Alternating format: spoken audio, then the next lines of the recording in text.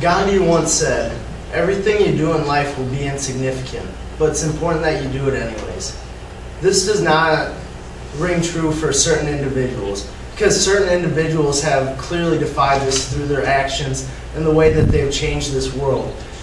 One man who has changed the world in several different ways is General Patton. He changed the way we fight battles today, and he did it at a time where military was evolving significantly. He did this like he was just a man of greatness throughout his whole life. First off, he was an Olympian. He also achieved success very early when he would offer to do things when other people wouldn't try to just achieve these goals that he had. Also, he was an excellent strategist. Like, first off, being an Olympian, how many people can say that they're an Olympian and actually placed at the Olympics and received a medal of some sort? Uh, the way he got to the Olympics was by knowing the right people because while he was at West Point, he never competed at the national scale, but he was on the fencing team, the track team, he even played football.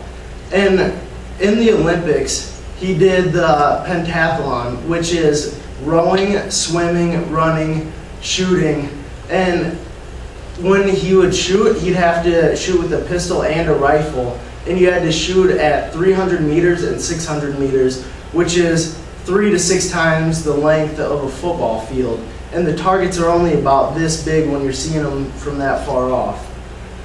Also, he achieved greatness at a young age. Uh, when he first got out of West Point, there was a conflict that we had with Mexico where Pancho Villa was threatening to attack Texas, and General Pershing had to go down to Mexico to fight off Pancho Villa. And Patton at the time, he was a commander. He offered to go with General Pershing, and General Pershing said, I don't need you. But Patton knew he wanted to advance his career, so he kept begging and begging to go with.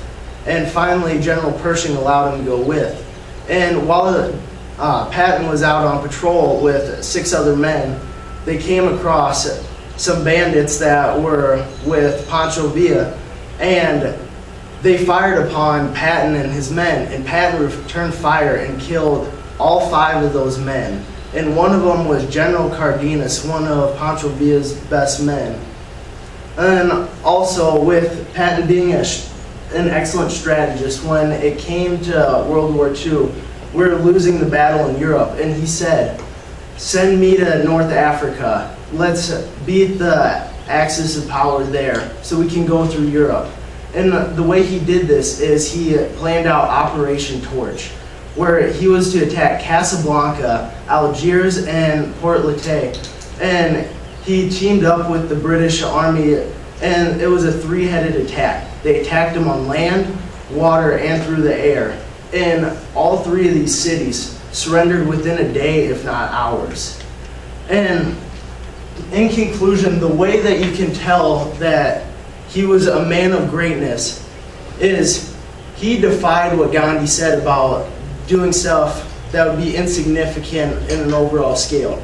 Patton saved lives, and he, he was an Olympian first off.